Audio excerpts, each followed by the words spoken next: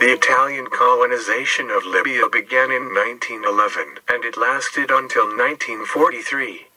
The country, which was previously an Ottoman possession, was occupied by Italy in 1911 after the Italo-Turkish War, which resulted in the establishment of two colonies, Italian Tripolitania and Italian Cyrenaica. In 1934, the two colonies were merged into one colony which was named the Colony of Italian Libya. In 1937, this colony was divided into four provinces, and in 1939, the coastal provinces became a part of metropolitan Italy.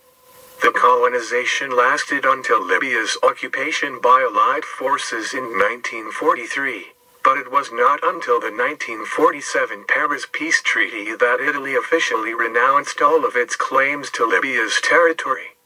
After the accession to power of the dictator Benito Mussolini in Italy, the fighting intensified.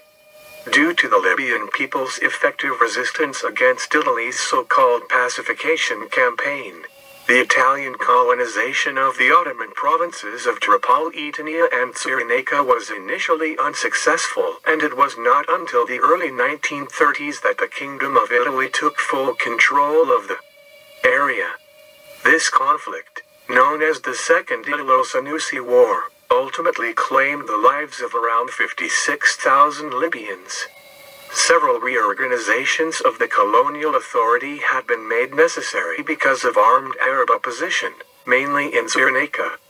Between 1919 to 1929, the Italian government maintained the two traditional provinces, with separate colonial administrations. A system of controlled local assemblies with limited local authority was set up but was revoked on the 9th of March 1927. In 1929, Tripoli and Cyrenaica were united as one colonial province. From 1931 to 1932, Italian forces under General Badoglio waged a punitive pacification campaign. Badoglio's successor in the field, General Rodolfo Graziani, accepted the commission from Mussolini on the condition that he was allowed to crush Libyan resistance unencumbered by the restraints of either Italian or international law. Mussolini reportedly agreed immediately and Graziani intensified the oppression. Some Libyans continued to defend themselves, with the strongest voices of dissent coming from the Cyrenaica. Beginning in the first days of Italian colonization, Omar Mukhtar, a Senussi sheikh, organized and, for nearly 20 years, led Libyan resistance efforts. Omar al-Mukhtar was born in 1858 to a family in the town of Zanzar near Tobruk, in the region of Ottoman Cyrenaica to an Arab tribe, belonging to the Senussi, before eventually becoming chief or leader of the clan. As a child, Omar lost his father early on and spent his youth in poverty. Omar was endowed with a quick and lively intelligence, was knowledgeable in religious matters, and revealed an energetic and impetuous character, unselfish and uncompromising. Ultimately, he remained very religious and poor, even though he had been one of the most important Senusist figures. He was adopted by a sheikh, and was friends with the nephew of Hussein Gariani, Sharif al-Juriani. His uncle was a political religious leader in Cyrenaica, and received his early education at the local mosque, before continuing his studying for eight years at the Senussi University in Jaghbub, the holy city of the Senussi Tariqa. He became a popular expert on the Quran and an imam, joining the confraternity of the Senussi. He also came to be well informed of the social structure of his society, as he was chosen to settle intertribal disputes. After 1912, Omar Mukhtar rose to prominence as a hero and inspiration to Libyans, particularly the youth. The message of his resistance was clear. Who gives Italy the authority to dominate and subjugate us while we are an independent nation? He quickly started enlisting young Libyans into his army and intensified the guerrilla campaign against the Italian colonial force. Omar Mukhtar made the desert his most effective weapon in battle, since he was a native of a desert village and was familiar with its geology and atmosphere. He would ride out of a ravine or a grove of palm trees, accompanied by his young followers, with pistols draped over their shoulders, and attack the Italian forces. The war between the forces of Mukhtar and the Italians grew bloody and horrifying every passing day. To keep him under control, the Italians laid out hundreds of kilometers of barbed wire across the desert, but Mukhtar's attacks and resolve only intensified. Now, in an effort to put more pressure on him, the Italians began to detain women and children.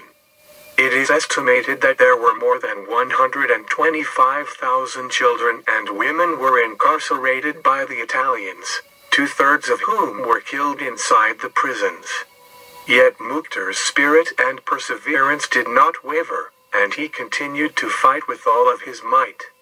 On September 11, 1931, the Lion of the Desert and his crew ambushed a significant Italian army convoy.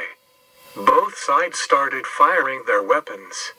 Mukhtar, who was at the ripe age of 70, fell victim to the enemy's trap. His arm was broken as he crashed to the ground after his horse slid.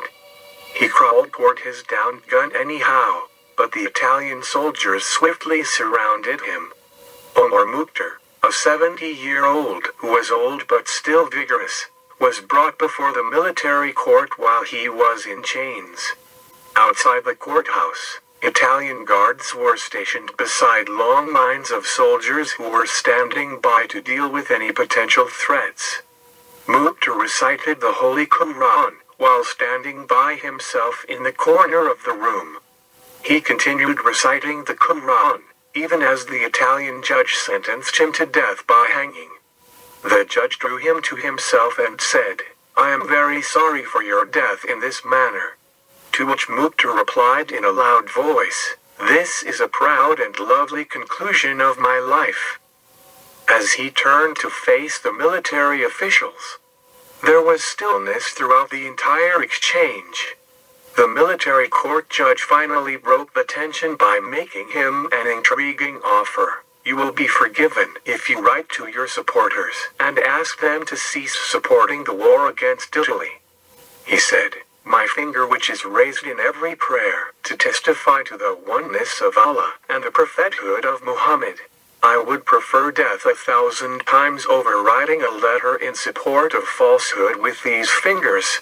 He then looked directly into the judge's eyes and added, I would prefer death thousand times over.